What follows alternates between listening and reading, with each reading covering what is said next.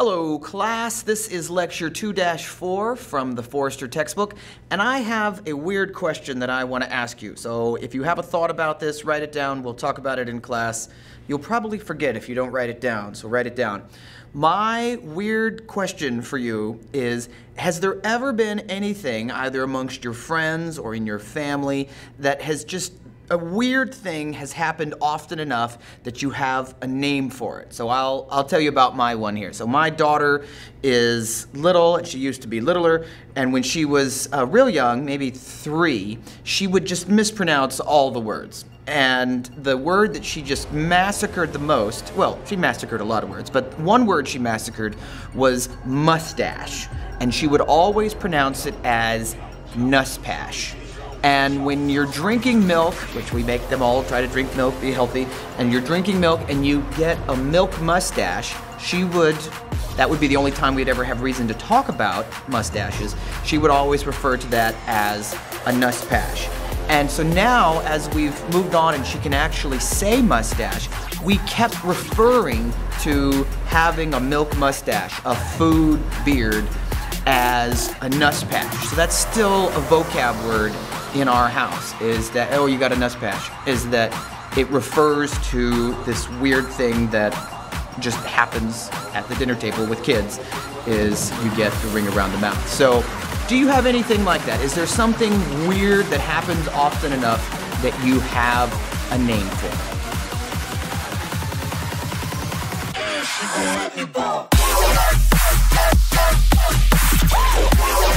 So we've been talking about trig functions. There's these different ratios to the side of a triangle. There's when you talk about the y compared to the hypotenuse to the radius, that is sine. When you talk about x compared to the radius, that's cosine. When you talk about y compared to x, that's tangent. Well, just like you might have a word for something weird in your family or circle of friends because it happens often enough, in trig, we need to talk about all the different ratios because they actually do come up often enough that they bear getting their own names. So the first weird one is instead of talking about y divided by x, we talk about x divided by y. And that's called cotangent. Let me write that down. Cotangent. It's just the regular old word tangent that you're used to with a co put in the front. So that's pretty easy. There's tangent. The flip of tangent uh, is cotangent. But then there's a word that maybe you heard in geometry, maybe not, but it is called secant. S E C A N T. And this is where we're going to say radius divided by x. So this is a new one that you may or may not have heard of but it is, like all trig functions, a ratio of two sides of a right triangle. And lastly, of course, if you haven't heard of secant, you definitely have never heard of cosecant. Co, oops, cosecant. And these have abbreviations, cot, sec, and ksk. There. So these ratios are important parts of talking about the pieces of uh, a circle. But one of the things to notice is that these really aren't total new creations. They're all reciprocals of trig functions that we've already talked about. So we just said that tangent and cotangent are reciprocals of each other. So that's pretty easy to remember. And then you can see here, if cosine is x over r and secant is r over x, then cosine and secant are just reciprocals of each other. Lastly, I laid it out here in a cool uh, pattern, sine and cosecant are also reciprocals of each other. y over r, r over y, it goes back and forth. I have to have little memory tricks to help me remember this sort of stuff, is that you can think about the three trig functions that you already knew, sine, cosine, and tangent. One of them already had the word, the prefix co that started it out, cosine. So any of these trig functions that have co in their name are going to flip over to ones without co in their name, and the ones without co flip to having co. So sine flips to cosecant. Cosine flips to secant, tangent flips to cotangent, and vice versa. So they're pretty easy to keep track of if you write them out in this kind of uh, menorah pattern, or if you remember that trick, co flips to not co, stuff like that. So that's hopefully something that's not too difficult to remember. Try to keep that straight. Now, these pieces of the triangle, not only do they have sort of algebraic definitions where we say this is equal to x over r or r over x, they also have geometric definitions. Now, this is something that if you're taking notes, you should write down in your notes, but don't freak out about like trying to memorize this. We will revisit this again. This is just something to sort of say, I, I like pictures, Smurf, where are the pictures? I don't just want to see the algebra, draw me a picture of what you're talking about. What is a secant? What is a tangent?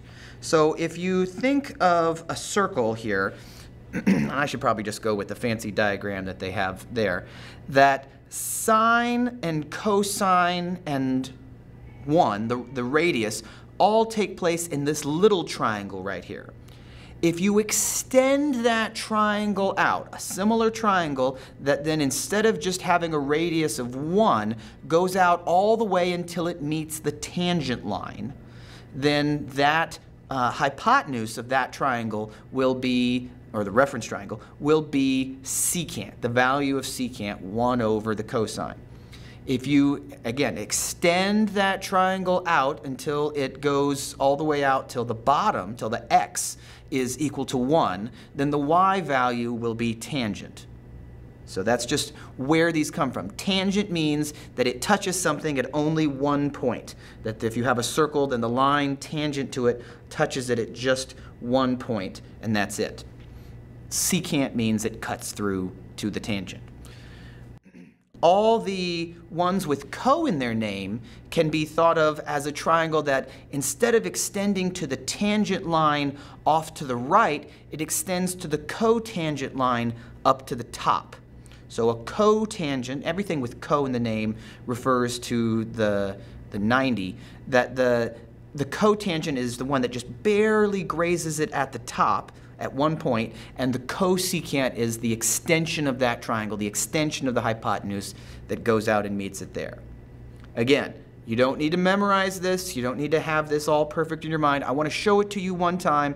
We'll come back to it again, and we'll get it set up in our own minds completely in the future. For now, I just want you to know that this secant, cosecant, cotangent, that these actually have geometric definitions.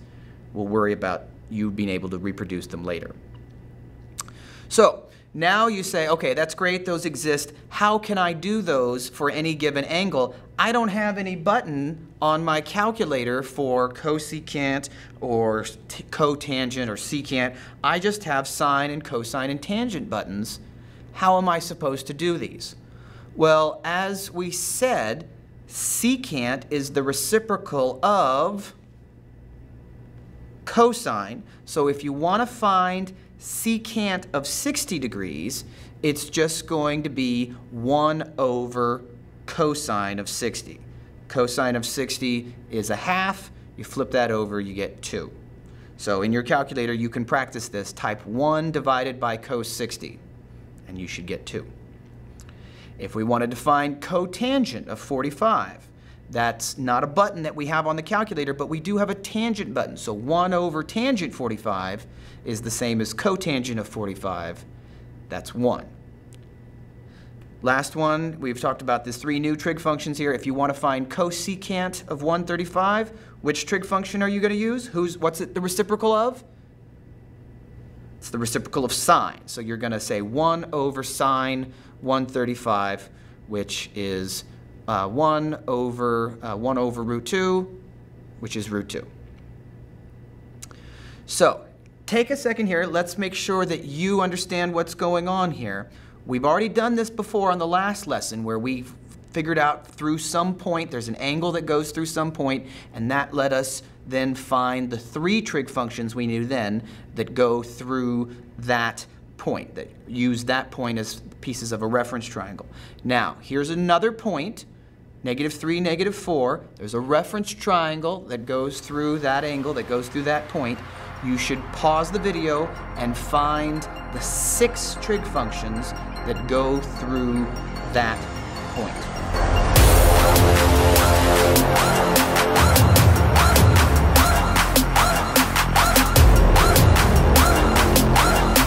All right, we are back and we are trying to find, hopefully you have found the six trig functions that go through the point negative 3, negative 4.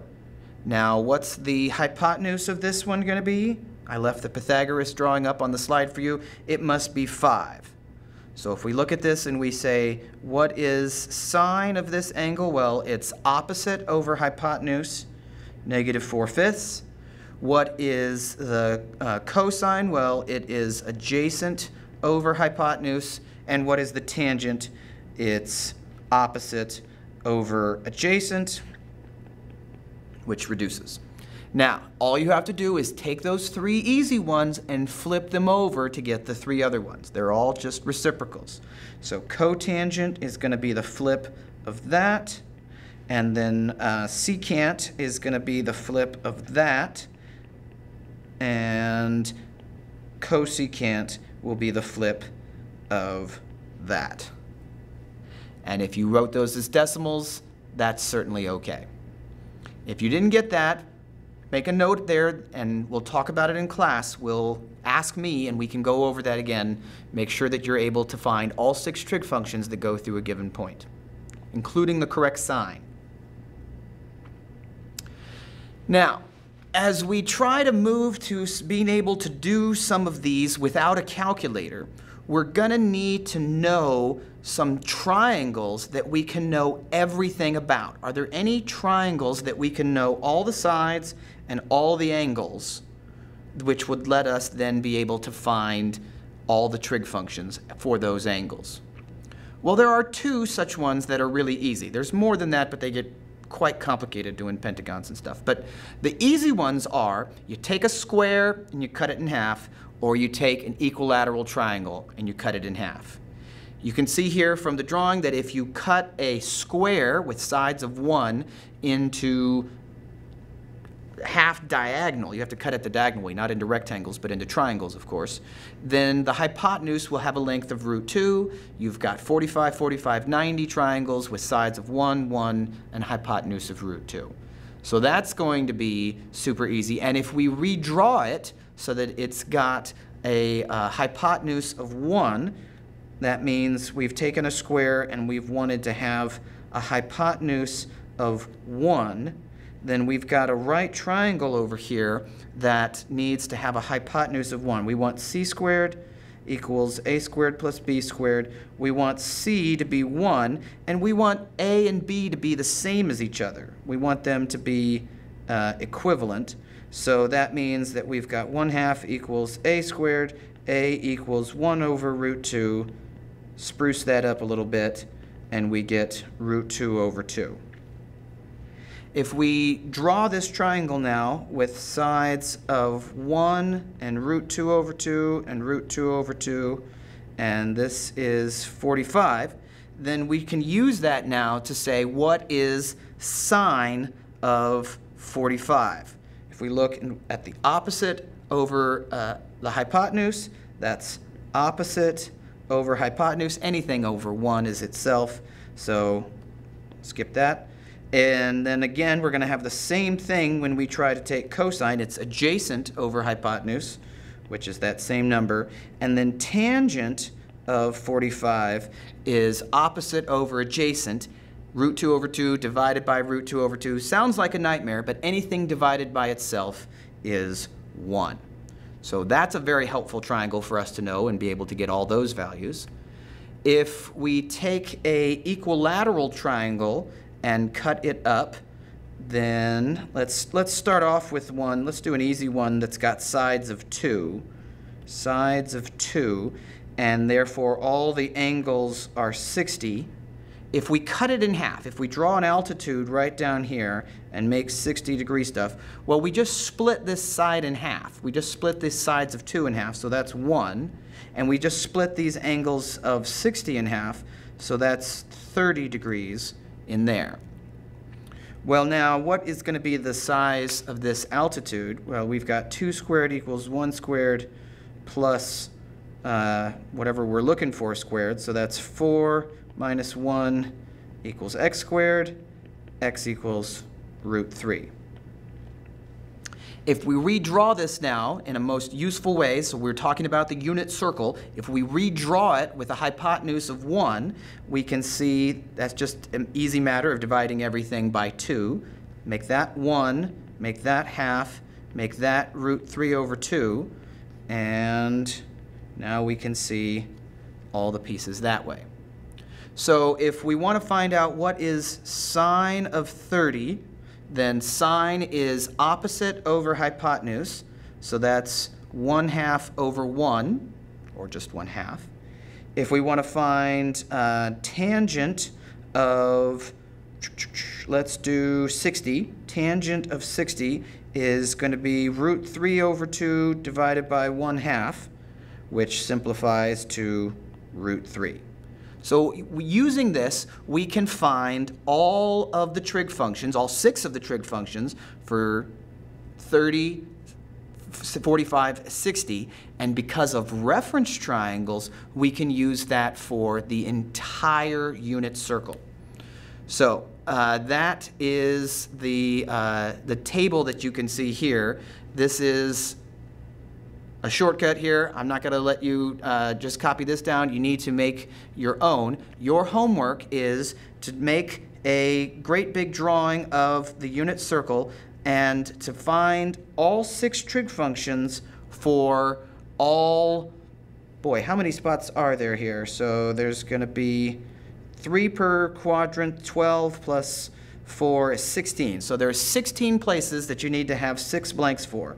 So right here at uh, 0, which is the same as 360, and at 30, and at 45, and at 60, and at 90, and at 120, and 135, and 150, and 180.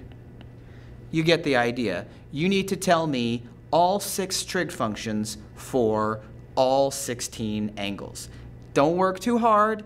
Everything is just a plus or minus version of the stuff in the first quadrant.